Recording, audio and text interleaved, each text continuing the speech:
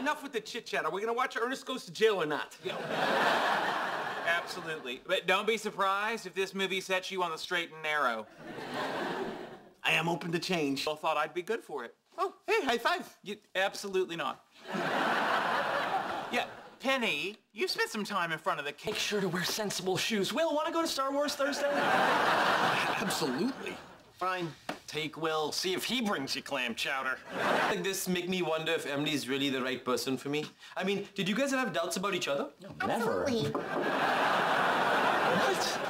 How are you? I know other words. So, if you were still interested. Yes, indeed, absolutely, indubitably. Not even sure what the last one means, but it's another word and I know it. We inadvertently bring about Armageddon. Okay, let me stop you right there. We absolutely know our invention will not be used to destroy the world. How? Because That's exactly what she was saying. Can you believe my mother thinks we're both strange? Absolutely not. It's too loud. Absolutely not. Someone to help you get your finances under control. Like a business manager? Yo, absolutely not. You can't afford to hire someone who will forbid you from spending Warnings. Okay, you sure about this? Absolutely. I just want you to be happy and maybe a little turned on about how selfless I'm being. Penny, what's up? I've corresponded with Peter Higgs. Would you like to see some of his letters? Absolutely. I'll get them.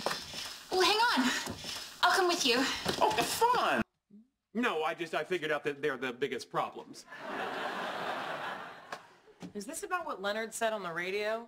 Absolutely not. And I do not want to talk about Leonard. Can we please just talk about anything else? Oh, that's sweet, but today's all about you. So, you two ready to find out the sex of this baby? Yeah. Absolutely. Is Halley hoping for a little brother or a little sister? Hey, can I get a picture with you? Absolutely. And if you post it on social media, I suggest the hashtag PutraPoet. Correct. And who can it be prescribed to? Adults and children who have absolutely for sure stopped growing. But he's not fooling anybody.